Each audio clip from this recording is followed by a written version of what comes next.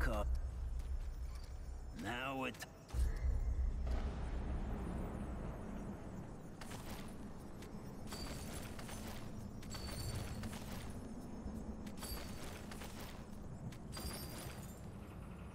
Think you can handle this? Don't do anything I would do.